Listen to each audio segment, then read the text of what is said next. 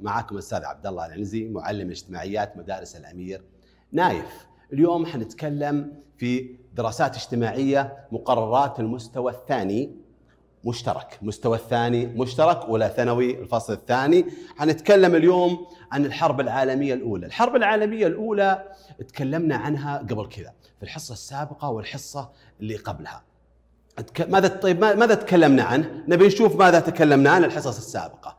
تكلمنا في الحصص السابقة عن الوضع السياسي في العالم العربي العالم قبيل الحرب العالمية الأولى، تكلمنا عن الوضع في قارة أمريكا، في قارة أمريكا تكلمنا عنها إن أمريكا توها جديدة توها مستقلة وتريد الانفكاك من أوروبا التي كانت مسيطرة عليها. فهذا الوضع في أمريكا لا تريد الدخول في الحرب أو لها صلة في أوروبا، تكلمنا عن القاره الأفريقية، الوضع السياسي في قارة أفريقيا، إنها هي مكان سرقة الثروات، ثروات اقتصادية، ثروات زراعية، كلها أخذت وأرسلت إلى أوروبا وهي مكان الدول المستعمرة، مستعمرة. تكلمنا كذلك في قارة آسيا في قارة الوضع السياسي قبيل الحرب أنها كانت مكان استعمار. استعمرتها بريطانيا استعمرت الهند ونهبت ثرواتها مثل ما قلنا اللي هو مكان منطقة التوابل. كذلك ظهرت دول في شرق آسيا زي اليابان والصين في آسيا واستطاعت أنها تشكل مناطق قوة في العالم. تكلمنا كذلك عن في القارة الأوروبية. في القارة الأوروبية الوضع السياسي هي هي مو هي مكان الحرب.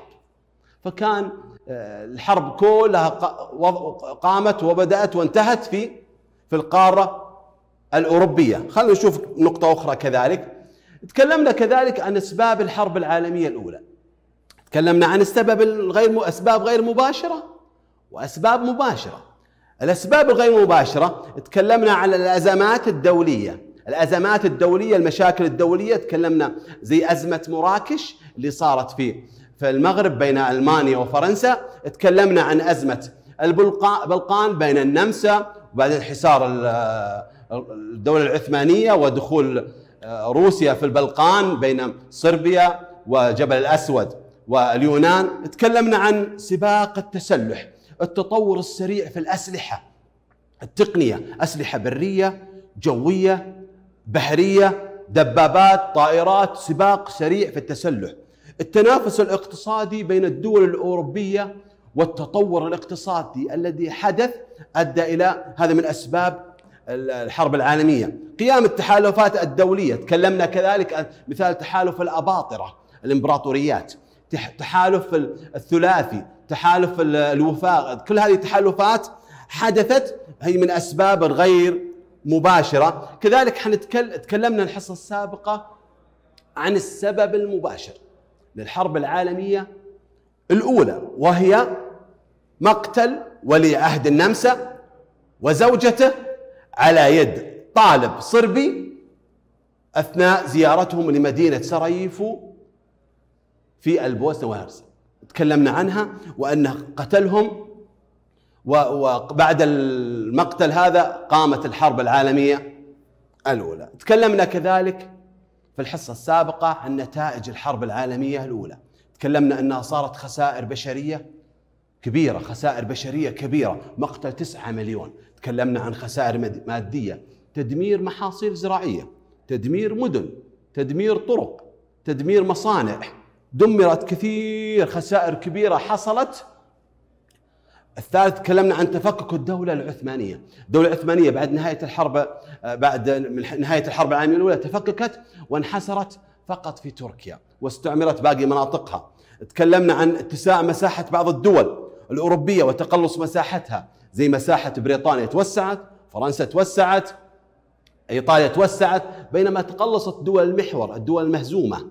مثال ألمانيا والنمسا صار في تقلص، انشاء بعض المنظمات الدولية زي منظمة الأمم المتحدة جديدة تأسست لمنع قيام أي حروب عالمية أخرى. كذلك كثير من بلدان العالم العربي تحت الانتداب. فصار في انتداب بريطاني وفرنسي وسيطروا على كثير من الدول العربية. هذه تكلمنا عنها الحصة السابقة. نرى اليوم حنتكلم عن آثار الحرب العالمية الأولى. على إيش؟ على إيش؟ على العالم العربي. على العالم العربي آثار الحرب العالمية الأولى على العالم العربي. حنتكلم قبل الحرب وحنتكلم بعد الحرب. قبل الحرب إيش كان؟ حنتشوف الآن. قبل الحرب يقول كانت بعض بلدان العالم العربي تحت الاستعمار الفرنسي. تحت الاستعمار الفرنسي. مثال عندنا مثلا الجزائر. عندنا مثلا أطراف من تونس عندنا بعض أطراف من المغرب كلها كانت تحت الاستعمار الفرنسي. ولا ننسى من ضمن الأزمات أزمة مراكش اللي كانت في المغرب. هذا أول شيء. بعض البلدان العربية كانت تحت الاستعمار الفرنسي. أجزاء من شبه الجزيرة العربية والعراق والشام كانت تحت النفوذ العثماني. كانت مسيطرة عليها الدولة العثمانية. بعض أجزاء من شبه الجزيرة العربية. العراق بلاد الشام كانت تحت النفوذ العثماني. كانت تحت النفوذ العثماني. هذا قبل الحرب العالمية. كان يوجد فرنسيين عثمانيين مسيطرين. طيب إيش اللي حصل بعد؟ هل في أحداث أخرى؟ نعم قيام جمعيات سرية معارضة معارضة. هدفها القضاء على العثمانيين. وين؟ كانت في تركيا. الهدف منها القضاء على العثمانيين. والمصيبة أنها نجحت نجحت بالإطاحة بالسلطان عبد الحميد الثاني في عام 1908 سقطت الدولة العثمانية في عام 1908 وظهرت. طيب لما سقطت؟ ظهرت دولة تركيا الجديدة أو يسمونها التتريك. التتريك. طيب ظهرت عندنا جمعية الجمعيات السرية وأسقطت الدولة العثمانية. مقابل لها إيش مقابلها؟ مقابلها تأسست جمعيات قومية عربية مناوئة للجمعيات هذه. تنادي بالاستقلال عن تركيا الجديدة لماذا؟ أليست مسلمة؟ أليست تدعو إلى الإسلام؟ نعم ولكنها انتهجت تركيا الجديدة انتهجت سياسة التتريك تحويل كل شيء إلى التركية التركية حتى الأذان حولوه بالتركي فانتهجوا سياسة التتريك مما أدى إلى قيام جمعيات قومية عربية تنادي بالاستقلال عن تركيا الجديدة التي انتهجت سياسة التتريك. نرجع نعيد قبل الحرب. ماذا كان موجود؟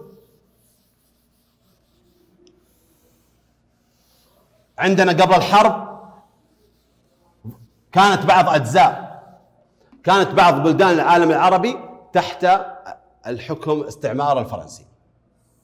هذا أول وحدة. أجزاء من شبه الجزيرة العربية والعراق والشام كانت تحت الحكم العثماني. طيب إيش شيء آخر؟ قيام جمعيات سرية معارضة. هدفها القضاء على الدولة العثمانية ونجحت ونجحت بالإطاحة بالسلطان عبد الحميد الثاني في عام 1908 وأسقطت حكم السلطان عبد الحميد الثاني وظهرت دولة تركيا الجديدة. طيب إيش مقابلها؟ هل استولوا فقط؟ لا. تأسست جمعيات قومية عربية أخرى مقابلة لها تنادي بالاستقلال عن تركيا الجديدة. لماذا؟ بعد انتهاجها سياسة التتريك. سياسة التتريك. هذا قبل الحرب.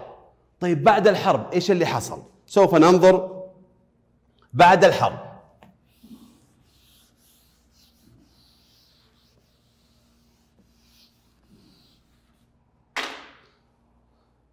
بعد الحرب أو أثناء الحرب دخول تركيا في الحرب ضد الإنجليز والفرنسيين. تركيا دخلت ضد الإنجليز والفرنسيين. ليش دخلت؟ بطلب من ألمانيا. طيب وهل مباشره تطلب منها ألمانيا تدخل؟ لا. الإنجليز والفرنسيين كانوا فرنسا كانت مستعمرة جزء. وكان ما في ود بين الدولة التركيه والإنجليز والفرنسيين. فلما قامت الحرب دخلت مباشرة الدولة التركية مع في الحرب العالمية الأولى آه، مع ألمانيا ضد الإنجليز والفرنسيين. طيب نقطة أخرى. انضمام اليهود. أوه هذا وش جابهم؟ اليهود انضمام اليهود إلى حلفائهم البريطانيين.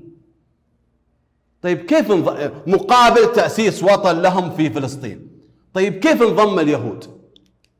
انضمام اليهود إلى حلفائهم البريطانيين. كيف انضموا؟ انضموا بالدعم بالدعم المادي بالدعم اللوجستي بتقديم الخدمات لدول الحلفاء. للدعم. فقاموا يدعمونهم دعم مادي دول الحلفاء يدعمون بريطانيا ماديا يدعمون آه، لوجستيا تقنيا تطور آه، جواسيس. كل هذا دعم مقابل ليش؟ عشان سود عيون البريطانيين. لا مقابل تأسيس وطن لهم ما عندهم وطن. ما عند وين؟ في فلسطين. انضموا الهدف تأسيس وطن لهم في فلسطين. ووافقت فلسط... آه، بريطانيا إذا أخذتها حتعطيهم. طيب إيش اللي حصل؟ هذا عندنا هذا في تركيا هذا في فلسطين. نقطة أخرى إعلان الشريف حسين بن علي. من هو الشريف حسين بن علي؟ هو حاكم الحجاز في ذلك الوقت قيام الثورة العربية ضد الحكم التركي.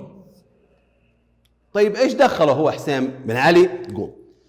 من اللي أوزع له ذاك؟ اللي أعطاه المجال هم البريطانيين. شجعوه لقيام ثورة عربية ضد الحكم التركي. يا الشريف حسين وراح نعطيك الملك ونعطيك الحكم. فقام بالثورة العربية وقام بتدمير وحرق وحتى أنه قام بتدمير سكة آه، سكة قطار الحجاز. سكة قطار الحجاز دمرها وقضى عليها ودمر كثير من الأماكن بإيعاز بإيعاز من البريطانيين بعد قيام الثورة العربية. صار عندنا دخول تركيا انضمام اليهود إعلان الشريف قيام الثورة. طيب إيش اللي حصل؟ هل أعطوه البريطانيين الوعد اللي وعدوه إياه إنه يخلونه ملك على العرب؟ لا. نقض بريطانيا بوعدها للشريف حسين بن علي. نقضت مباشرة بتنصيبه ملكا على العرب. هذه من الأحداث اللي حصلت. طيب مقابلها. مقابلها. مقابلها كانت بريطانيا موقعة معاهدة اسمها معاهدة سايكس. بيكو سايكس البريطاني وبيكو الفرنسي. المعاهدة هذه تقسيم هي معاهدة تقسيم تقسيم الدول العربية. تقسيم وتم تقسيم الدول العربية آه، لبنان وسوريا فرنسا آه، فلسطين والأردن والعراق. وبعض أجزاء من شبه الجزيرة العربية لبريطانيا وتم تقسيم المناطق كلها بينهم بالاتفاقية هذه المعاهدة سايكس بيكو. صار عندنا الآن دخول تركيا انضمام اليهود إعلان الشريف الثورة العربية نقض البريطانيين بوعدهم ومعاهدة سايكس بيكو والأخيرة والأدهى والأمر وعد وعد بالفور وعد بالفور الذي وعد اليهود بإعطائهم آه، أرض في فلسطين. نتكلم عن موقف المملكة العربية السعودية. موقف المملكة العربية السعودية. كانت الحرب العالمية الأولى كانت في عام 1332 في عام 1332 هجري. في ذلك الوقت كانت الدولة السعودية في نشأتها. 1319 الرياض وتطورت وأخذت بلاد النجد وشمال المملكة العربية السعودية وقامت المملكة العربية السعودية ولكن بداياتها عندما نشأت نشبت الحرب كان الملك عبد العزيز منشغلا بتوحيد البلاد وكان يراقب تطورات الحرب ويتخذ موقفا منها محايدا. هذا أول شيء من الحرب وعندما طلبت منه بريطانيا التعاون معها في حملتها ضد العثمانيين لم يوافق. ولم يتخذ موقف مساند ضد آخر شخص آخر. حماية لماذا؟ حماية لمصالح بلاده وشعبه لأن الحرب دمار على كل مكان تأتي فيه وهو بداية نشأته ويحاول يثبت بلاده. وعندما قامت الثورة العربية التي قام بها مين؟ الشريف حسين بن علي. أثناء الحرب اتخذ الملك عبد العزيز موقفا شو محايدا وتابع أحداثها بكل اهتمام للتأكد من سلامة بلاده من أي آثار سلبية يسببها هذه الثورة العربية. صار عندنا موقف المملكة العربيه السعودية هو موقف محايد من الحرب ولم يوافق ولم يوافق ولم يوافق للانضمام لا إلى البريطانيين ولا إلى العثمانيين هو موقفه من الثورة العربية موقفا محايدا لأنه يتابع من بعيد الآثار السلبية التي ممكن أن تسببها. هذا بالنسبة لنا موقف المملكة العربية السعودية من الحرب العالمية الثانية، صار عندنا موقفها وشو؟ موقف محايد، موقف محايد.